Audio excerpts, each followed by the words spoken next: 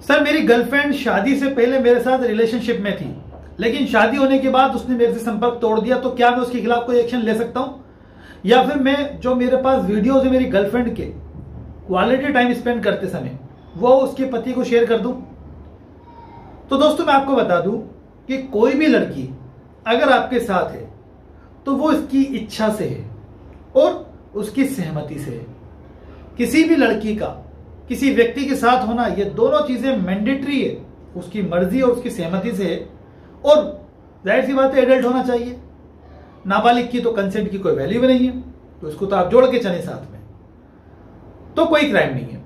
लेकिन जब वो आपसे अलग हो गई और वो आपके साथ वापिस से उस रिलेशनशिप में नहीं आना चाहती, आप फोर्स करते हैं उसको, ज़बरदस्ती करते हैं उसके साथ, या फिर उसको वो वीडियोस जो आपके पास हैं या फ़ोटोज़ जो आपके पास हैं वायरल करने की धमकी देते हैं, उसके पति को शो ऑफ़ करने की धमकी देते हैं और कहते हैं कि तू आ, मेरे साथ ये चीज़ कर।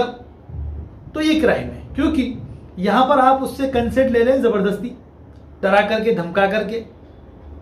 तो ये कानून अपराध है। अगर गलती से आपने ऐसा एक्ट कर भी लिया, आपके पास जो वीडियोस थे, या तो या तो आपने उसको शेयर कर दिया तो भी क्राइम हो गया।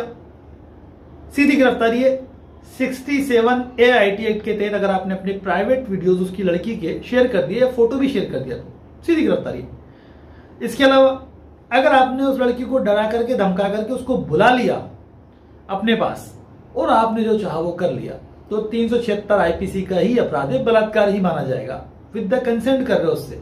लेकिन क्यों? वो मजबूर है, आपने मजबूर किया है उसको। या तो वीडियो वायरल करोगे, या उसके हस्बैंड को शेयर करोगे।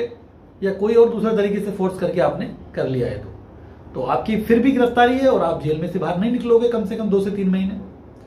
तो कुल मिलाकर के, एक फ़िल्म थी जिसमें लड़की कहती है नो मीन्स नो बिल्कुल सही बात है सर। जब लड़की अपनी इच्छा से है और वो एडल्ट है तो कोई क्राइम नहीं है। लेकिन आपसे उसने ब्रेकअप कर लिया, उसके बाद आप उसको किसी भी तरीके से बहला करके, फुसला करके, डरा करके, धमका करके या अन्य किसी और सोर्स के माध्यम से अपने करीब ला करके अपना काम निकालते हो तो फिर ये अपराध है। इस बात का आपको ध्यान रखना पड़ेगा। तो मेरी राय यह है कि आपको ना तो उसकी वीडियो को, उसके पति को शेयर करना है या किसी अन्य व्यक्ति को शेयर करना है, गलती से ही मत करना। लड़की अपनी इच्छा से आपके साथ थी, आप अपनी ही इच्छा से वो आपके साथ नहीं है तो बात ही खत्म होती है। अब किसी और की तलाश करो, उसको भूल जाओ। अगर आप पीछे पड़ोगे तो निश्चित तौर पे आप कानून के किसी ना किसी दायरे के अंदर आकर के उलझ जाओगे। फिर ना कहना, सर, आपने जवाब नहीं दिया था मुझे। तो वीडियो अच्छा लगा तो लाइक करें, इसको शेयर करके दूसरों को तक पहुँचाए। ऐसे वीडियो देखने के लिए चैनल को सब्सक्राइब करें दोस्तों। Thanks for watching guys